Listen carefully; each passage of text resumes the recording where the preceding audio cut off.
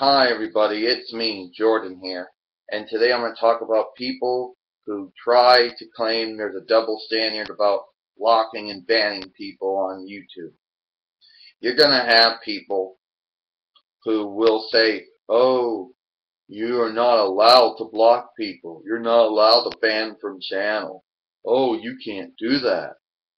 And these are normally trolls, basically, you know, people who like to go around and bully people and don't like their either their visualization privileges or communication privilege or their or their subscribing, favoriting playlist or commenting privileges taken away.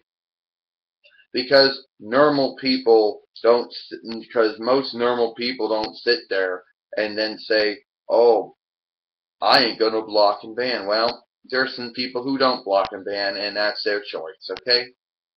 You're going to have these people that go around and try to make a double stand on the whole block and ban thing.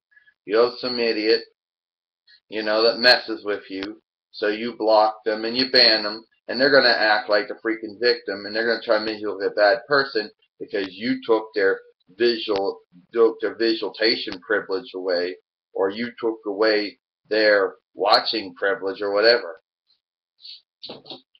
Oh, Jordan's a piece of shit. She goes around and blocks and bans people. You shouldn't be, you, you know, you're not, you know, that's wrong. Oh, it's wrong. You're going to have these idiots that are going to claim that your YouTube channel has to follow the same rules as would say a newspaper or a magazine or a television network or a radio network. No, I don't have to do that. On YouTube, communicating with someone, letting someone comment on your channel or your videos, subscribing to your channel, watch your videos, favorite or playlist your videos are all privileges. They're not rights. Okay?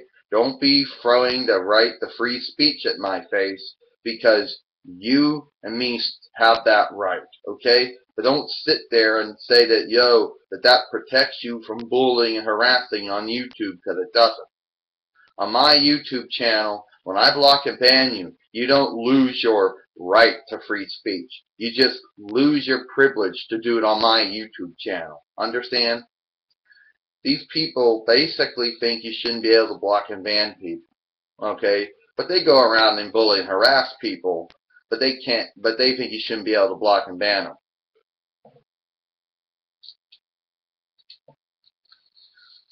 Join your bib, your poop head. Poop head. Block, ban. Yeah, that's what they do. And then they go around try and make it look like that you shouldn't have been able to do that. Okay? Now, for you people out there who might say, well, it doesn't work for me either two things. One, you actually did not use block user or ban from channel. That's the obvious. Or free, you're or free, you weren't signed into your YouTube channel. Really, I don't know. There are going to be people who claim it doesn't work. But I can speak from my experience saying that everyone who's messed with me that I've banned it since ban from channels come along, I've not seen them again. So obviously it works. You know. And this is how I think it looks like when someone gets blocked and banned. I can't communicate. I can't subscribe. I can't favor a playlist or watch or comment on videos or on channel. Fuck. So yeah. And for all you people out there who once again think that people who are blocking and banning are taking your right to free speech away, they ain't.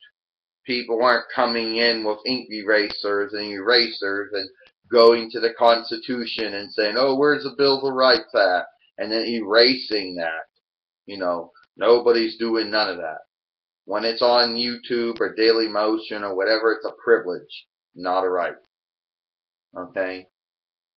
Obviously, you people get privileges and rights confused. So that's about it. I'm Jordan. I'll see you later.